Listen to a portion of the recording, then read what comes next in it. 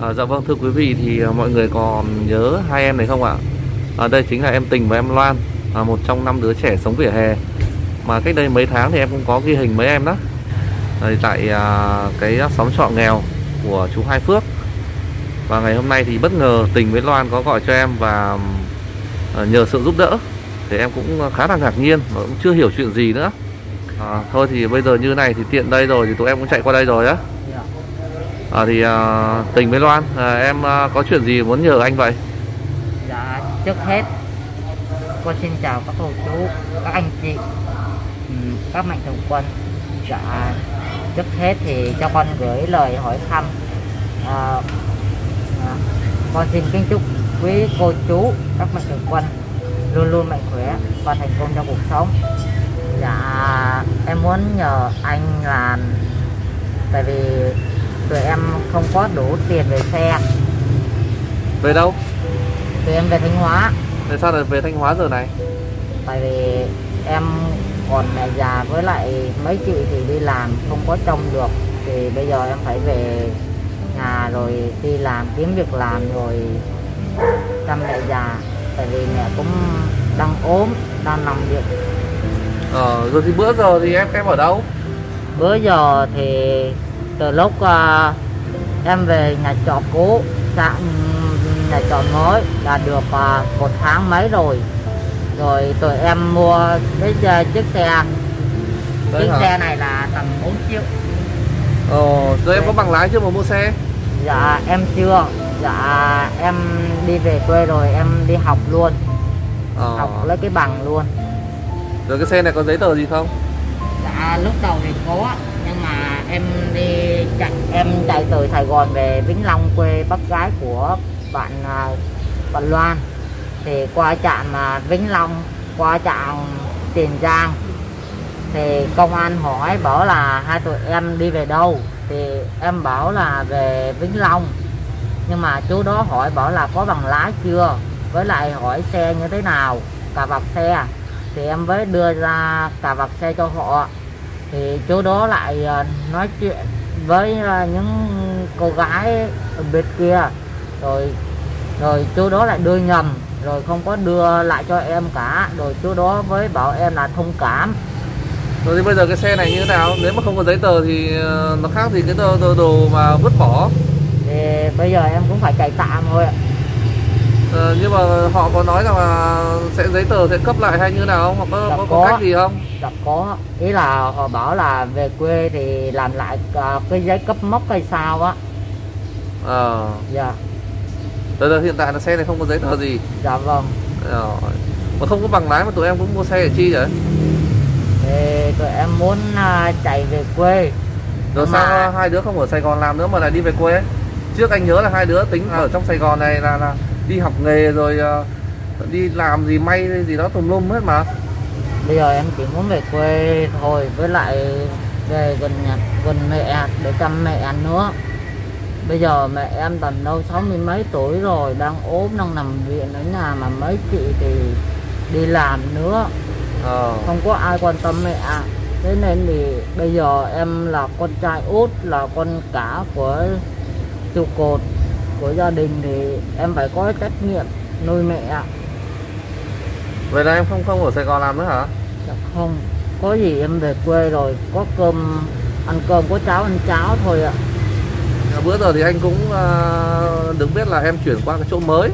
Dạ. à, Thì cứ tưởng là mọi chuyện nó đã yên ổn rồi Mà sao hôm nay tự nhiên em lại gọi cho anh để em nhờ. À, Giờ xin anh giúp, anh giúp đỡ. Thật sự thì anh cũng khá- là bất ngờ đó Anh không hiểu chuyện gì luôn Thì anh mới nói là thôi tụi em chạy qua đây đi Thì sẽ ờ, nói cho anh hiểu hơn Cũng như là quý khán giả hiểu hơn Đấy, Nhưng mà bây giờ là, là tính về quê Thì bây giờ là sẽ chạy về quê hay như thế nào đây? dạ em sợ chạy được nửa đường thì xe lại bị hư với lại không có giấy tờ nữa sợ là công an bị bắt nữa à nếu mà anh Thế vậy vậy nói tóm lại là hôm nay tụi em qua đây nhờ anh chuyện gì? dạ em xin em mua vé xe em về quê ạ. Tụi em mua vé xe về quê tại vì tụi em trong người còn có đây em nói thật với anh là em còn có hai triệu mốt thôi anh. Rồi còn 2 triệu mốt? Dạ. Vậy là không đủ tiền vé xe về hả? Hay Dạ. sao? dạ vâng. Một vé là một triệu ba.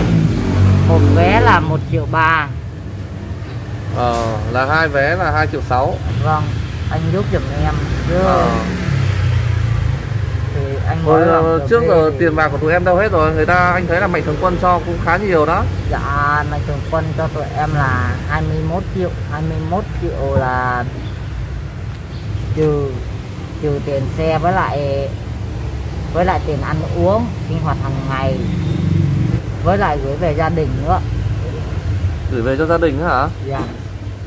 Tại vì lúc mẹ em à, đi khám mắt á mấy chị chỉ có nuôi mấy con thôi. Để em mới à, trích ra một ít tiền để em mới gửi về cho gia đình ạ. Ừ, thế sao ờ, anh hỏi xíu không phải ha dạ. Thế sao không kêu mẹ gửi cho ít vào để để mình có thể về quê? Em nói thật với anh là gia đình em rất là nghèo nhà ba chị gái. Ờ, em là con út thì ba chị thì lấy chồng rồi nhưng mà thỉnh thoảng à, về thăm mẹ lắm. Tại vì mẹ bây giờ cũng già cũng lại đang ốm nữa. Ở sao trước là tụi em không không có tính sâu xa hơn là mình phải để trưa lại tiền để mình có thể là mình ờ, tiêu xài hoặc là mình làm gì mình làm chứ? Tự nhiên là em ờ, gửi hết về quê rồi bây giờ lại đi phải đi đi xin như thế này. Sao hai đứa không đi xin ờ, một công việc gì làm đi một tháng hai tháng nữa thì về. Mình vừa có tiền mình ờ, trang trải cũng như là là là ờ, có tiền mang về quê nữa. Chứ bây giờ về không có một xu nào cả. Giờ chị muốn về quê thôi anh. Có cơm ăn cơm có cháo ăn cháo thôi chứ. Mình ở trong này với lại không có ai nương tựa nữa. Ờ với lại mình cũng sợ mình đi ra ngoài đường á, xã hội nó bè ép mình nữa ừ. với lại mình nhỏ con nữa với lại đâu có làm được gì đâu anh có tám lạng mà thì đâu có làm được gì Rồi em đi như thế này thì ờ, bên gia đình bé Loan có biết không? Không. không ạ Không biết hả? tụi em cũng nói với bác gái của bé Loan rồi Đấy lúc hả? khi đi thì tụi em cũng nói trước rồi À, thì tụi em tính là bao giờ về? dạ nếu mà tối nay Thì vào tối nay luôn hả? dạ Đợt bữa giờ có được chờ check hay là là là test covid gì không? chắc có test âm tính Ừ. có giấy Vậy là hai đứa check hết rồi hả? dạ Hai đứa check hết rồi đúng không? vâng em test rồi test covid Ý là được được ờ, check vaccine chưa? Tiêm vaccine đấy. dạ rồi em tiêm hai mũi rồi ạ Ờ, Loan ờ, tiêm chưa? em chưa Đấy, uống nước đi, hai đứa uống nước đi. em mời Rồi. anh Ờ. Rồi tối nay mấy giờ xe chạy? dạ 7 giờ ạ 7 giờ xe chạy rồi. dạ Rồi tụi em là từ chạy từ đâu qua đây đây? dạ tụi em từ ở trên chùa Hoàng Pháp chạy xuống ạ Chùa Hoàng Pháp hả? Ở Hóc Môn hả? dạ vâng Em đi đi đâu lên trên đấy? Dạ em lên đó thắp hương cúng nhờ mẹ quan âm à, chỉ đường bảo hộ. Ờ. Rồi à, bữa giờ là tụi em là mới từ Vĩnh Long lên lên luôn à? dạ vâng Là lên từ hôm qua à, hay sao? dạ mới lên được 3 ngày rồi ạ tụi Rồi em rồi tụi em ở đâu? tụi em đi kiếm à, nhà trọ nhưng mà lại không có được không có đủ tiền á Ờ. rồi tụi em mới à, ngủ tạm nhà nghỉ Ờ. nhà nghỉ trên à, Hóc Môn một đêm là tầm 80 á Ờ. Rồi là là rồi tụi em cũng đi à, kiếm nhà trọ ở trên đó nhưng mà không có ờ. Rồi mai mốt có tính à, qua năm vào lại không? dạ không mẹ già vậy em nên ở nhà thôi ạ không muốn đi xa nữa Ờ. Rồi Loan này có có đồng ý làm về quê ở ở luôn không? Là quyết định là về quê à, tỉnh là ở luôn hả? Rồi. Rồi tụi em dự tính là về đó tụi em làm cái gì? dạ về đó là tụi em à, xuống nơi chỗ à, gần biển á. Gần biển ở nhà em là tại vì giờ gần hết dịch ngoài đó là đang mở. Đang mở những cái mà bưng bê rồi à, cho khách ăn á bưng bê mấy quán hải sản á. Ờ. tụi em làm ở đó rồi tối về tối tối về nhà. Ờ là rồi tầm- đồ, đạc của hai đứa đâu hết rồi mà sao còn mỗi cái ba lô này? Dạ em à, để ở dưới nhà bác ạ nhà bác Loan á. bác bác nào? Bác của Loan ạ. Rồi có gì à, khi nào á khi nào có xe khách mà chạy lại mà hàng hóa nó rẻ thì em bảo bác gửi về quê.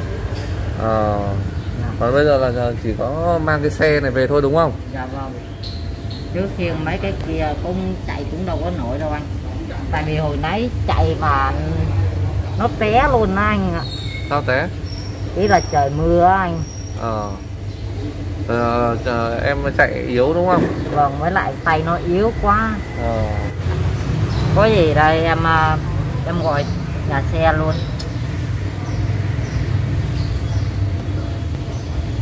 Nên nếu mà hôm nay anh không cho em tiền thì tụi em sẽ làm sao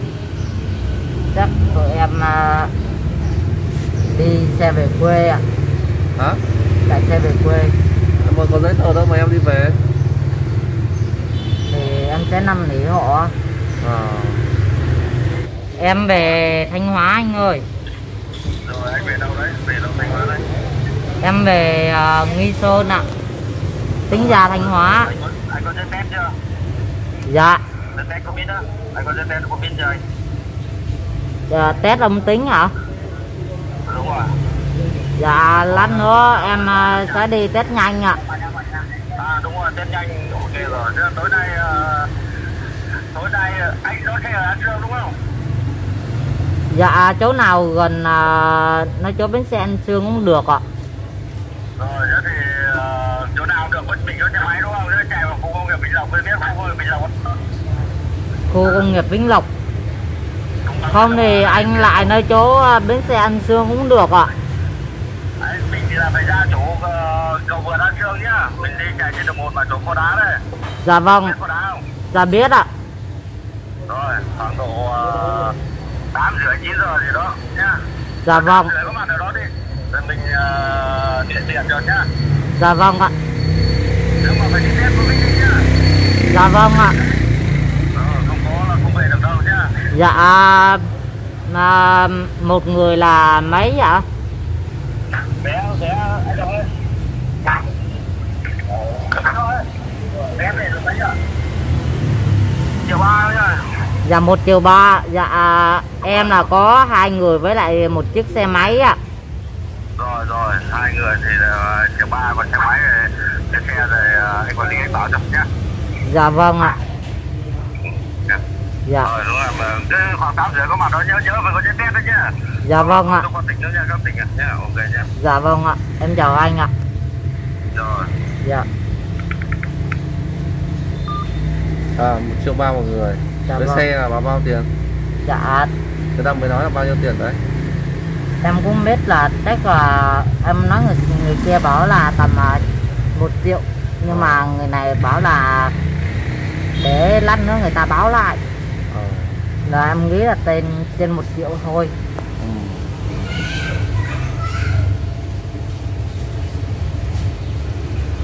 rồi thì uh, thôi thì um, vừa nãy giờ thì tụi em cũng trình bày như vậy đấy. Thì anh cũng không biết giúp sao nữa. Thế thôi thì anh uh, xin trích cái số tiền của mạnh thường quân ở trên kênh youtube của anh ra ha? Thì anh uh, cho hai đứa là 2 triệu nữa uh, để đủ tiền xe về ha? Uh, thì uh, như vừa nãy em nói là em có hai triệu mấy rồi đúng không? Rồi thì thôi anh bây giờ anh cho thêm hai triệu nữa. Chắc là đủ ha? Ừ, đủ không em? Liệu đủ không? Rồi. ờ. Rồi thì à, đây cũng là cái số tiền à, của à, cô Tuấn. Anh cũng xin phép là trích cái số tiền của cô ra để giúp cho hai em.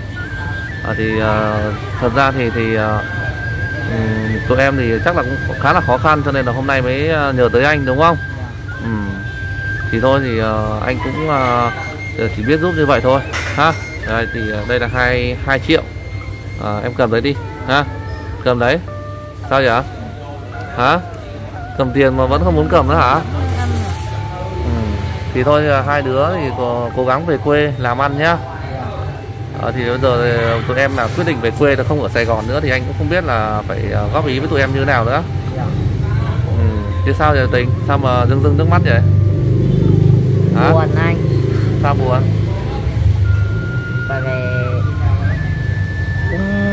có vui có buồn. Ừ. rồi à, bây giờ rời Sài Gòn đấy à, cảm xúc của em như như thế nào? Dạ. Bây giờ chuẩn bị rời Sài Gòn rồi cảm xúc của em như thế nào? Dạ rất là vui ạ. Vui hả? Dạ. Sắp được về với mẹ rồi đúng không? Dạ. Về với gia đình. Dạ. Ờ. thì à, bữa giờ là anh em mình biết nhau là chắc cũng nửa năm rồi ha. 5 tháng rồi đấy nhỉ? Dạ. Ờ. rồi thì thôi ờ, cũng chúc hai em sẽ có cuộc sống ờ, gặp nhiều may mắn. Ờ, khi nào mà cưới nhớ ờ, mời anh nhá dạ vâng. Cái đó là anh là đứng đầu. À, thì ha, cũng hy vọng là tụi em sẽ à, gắn bó với nhau ha mình cùng nhau vượt qua những khó khăn nhá. Dạ. Như vừa nãy người ta nói là 8 giờ là bắt đầu xe chạy hả? Dạ bảy rưỡi tám giờ. Ờ bảy rưỡi tám giờ. Là thế thôi bây giờ thì à, hai đứa đi kiếm cái gì ăn đi. Rồi xong bắt đầu ra cái chỗ bến xe ăn xương như vừa nãy người ta nói đó. Dạ thì ngồi đấy chờ ha dạ Ờ, thì à, chắc là bảy tám giờ đó thì người ta sẽ đón ừ. thì chắc là chạy thì à, hai ngày một đêm thì chắc là ngày mốt là về tới nhỉ dạ sáng ngày mốt đó Dạ. Ừ, thì thôi thì um, chúc hai em lên đường thượng lộ bình an ha. dạ. Ừ. con cảm ơn à, vợ con thay mặt vợ con thì con cảm ơn cô Tuấn ạ dạ Ờ, thì thôi thì cố gắng nhá. Rồi anh Vâng. cũng uh, chúc hai em là như vậy ha. Rồi. Ờ, thì à, em cũng xin phép là kết thúc cái clip này ở đây. À, cảm ơn tất cả mọi người đã theo dõi. Á. À, đây chính là em Tình và em Loan, một trong à, à, năm đứa trẻ sống vỉa hè mà em cũng đã chia sẻ cách đây khoảng à, 3 4 tháng gì đó. Thì ngày hôm nay các em là quyết định là rời Sài Gòn về quê. Đó. Em Tình này là một em cũng khá là hiền lành và em có một cái biệt tài là vẽ tranh. À, vẽ những cái bức à, tranh mà mẹ Quan Âm cũng như là tượng Phật khá là đẹp. À, nhưng tuy nhiên thì à, dịch bệnh thì bây giờ sức khỏe của em cũng không có đi xin việc cũng khó nữa. Cho nên là hai em đã quyết định là rời uh, Sài Gòn về quê. Còn nếu như ngày hôm nay mà anh không ờ, giúp em thì là hai em vẫn quyết định là đi cái chiếc xe máy này về. À, ừ. thôi à, anh cũng ờ, chào tụi em ha. Rồi chúc hai đứa hạnh phúc ha. Rồi cuối clip đây thì em à, xin à, một lần nữa là em cảm ơn em cảm ơn anh và em cảm ơn cô Tuấn Ờ. thì à, con xin chúc anh và con xin chúc cô Tuấn là thật nhiều sức khỏe và thành công trong cuộc sống để Ờ. giúp người và giúp đời sau này rồi